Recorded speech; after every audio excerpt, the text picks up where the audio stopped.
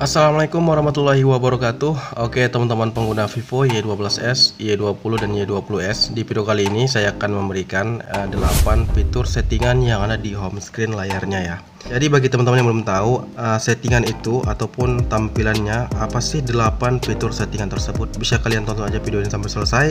Di sini saya akan berikan 8 fiturnya Oke untuk settingan pertama ataupun fitur pertama di sini kalian masuk ke bawah aplikasi. Kalian klik ini. Tab menunya kalian tahan lama ya. Lalu kalian klik setelan layar utama. Di sini kalian lihat di bagian ukuran icon desktopnya. Di sini kalian klik aja salah satu. Contohnya di sini kecil di bagian aplikasi ini ya teman-teman ya. Normal dan juga besar. Di sini saya sering menggunakan yang normal kalian klik terapkan. Oke langsung kalian kembali. Di sini kalian kembali. Kalian centang seperti ini tambahkan icon layar utama izinkan layar utama diputar. Dan di bagian geser di bawah layar beranda ini di sini kalian klik salah satu ya. Contohnya pencarian global. Nanti akan muncul di bagian ininya pencarian global dan pusat notifikasi. Nanti akan muncul notifikasinya di sini saya sering menggunakan yang pencarian global. Oke, di sini kalian kembali lagi dan kalian klik juga, kalian centang seperti ini untuk bilah rekomendasi aplikasinya. Oke, sekarang kita masuk ke settingan kedua atau fitur kedua. Masuk lagi ke bawah aplikasi dan kalian tap seperti ini. Kalian klik lama dan di sini kalian masuk ke widget. Di sini bisa kalian tambahkan fitur untuk mempercepat kalian menemukannya. Contohnya seperti aplikasi, WhatsApp ataupun YouTube musik, terjemahan dan pengaturan lainnya. Oke, contohnya teman-teman seperti jam. Ya di sini saya tidak menemukan jam saya ya, tetapi kalian kalau nanti menemukan uh, di widget itu jam A seperti ini, kalian klik aja nanti uh, ini tahan lama, kalian pindahkan seperti ini. Maka akan dia seperti ini ya jadi fitur widget ini banyak banget fitur-fiturnya teman-teman yang bisa kalian lakukan di Vivo kalian. Oke sekarang kita ke fitur ketiga atau settingan ketiga. Kalian tap lagi di layar ini. Kalian klik wallpaper. Di sini kalian bisa menggunakan atau mengganti wallpaper di Vivo Y12s, Y20 dan Y20s dengan singkat dan tidak membuka lagi item Vivo kalian. Contohnya seperti ini. Dan kalian klik terapkan atau kalian review dulu atau kalian perhatiin jauh seperti ini.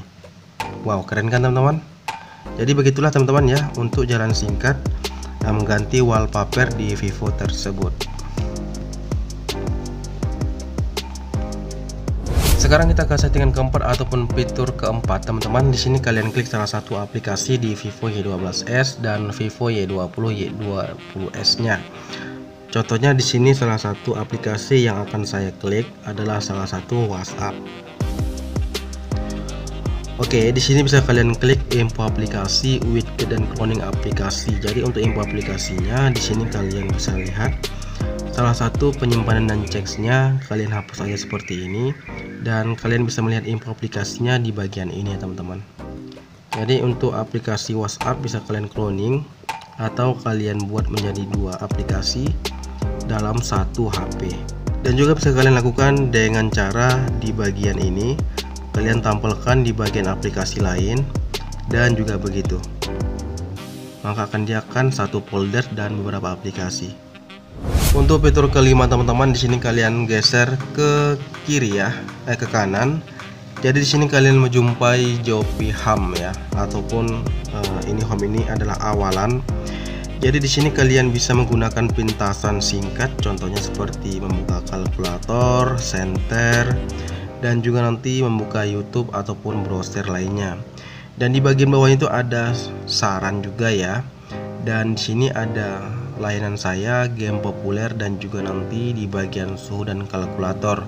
Jadi ini sangat bagus banget ya. Dan ini fitur ini nggak bisa dihilangkan dari Vivo tersebut, apalagi sudah memiliki Android 10 eh, ataupun 11.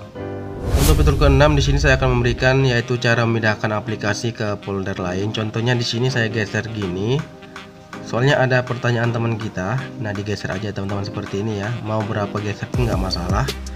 Nah, di sini dan juga bisa begitu juga di aplikasi lainnya ya. Nah, seperti ini teman-teman. Oke begitulah cara memindahkan aplikasi ke slot lain ataupun ke folder uh, fitur lain ya. Untuk fitur ataupun settingan ketujuh teman-teman di sini kalian ke dalam quick setting ataupun status bar. Di sini banyak banget yang bisa teman-teman lihat teman-temannya di bagian ininya. Oke salah satunya di bagian uh, pelindungan mata.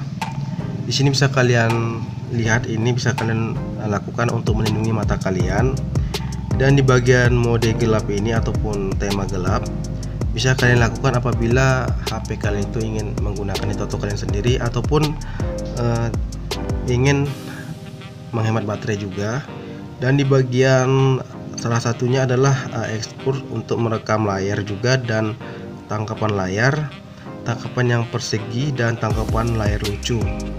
Jadi lagi banyak banget yang bisa kalian lihat di bagian ini dan juga untuk merekam layar. Jadi di sini bisa kalian klik salah satu kalkulator dan mode waktu tidur. Oke untuk settingan terakhir ataupun uh, settingan ke-8 di sini kalian teman-teman kembali lagi. Nah salah satu folder ini adalah salah satu folder uh, untuk sidik jari ya kalian bisa ini kan folder op teman-temannya ini adalah folder sidik jari juga dan folder op nah kita klik salah satu lama di sini saya akan jelaskan kepada teman-teman yaitu uh, fitur darurat juga dan daya mati. Mod ulang ini adalah salah satu merestart ulang dan daya mati HP kita akan mati. Jadi untuk kontrol perangkat ini adalah salah satu fitur yang di mana kita bisa mengontrol uh, perangkat kita teman-teman. Tapi fitur ini nanti saya jelaskan untuk uh, lebih lanjutnya ya apa-apa saja fitur dan perangkatnya. Nah, di sini saya akan memberikan uh, 8 settingan uh, yang ada di home screen ataupun di layar Vivo Y12s, Y20 dan Y20s. Oke, uh, di sini teman-teman di bagian uh, layar aplikasi ini adalah salah satu pencarian aplikasi. Mana tahu teman-teman itu bingung mencari aplikasi lain ya. Bisa kalian cari seperti YouTube begitu ya. Maka akan muncul ya. Oke terima kasih teman-teman. Wassalamualaikum warahmatullahi wabarakatuh. Sekian dan terima kasih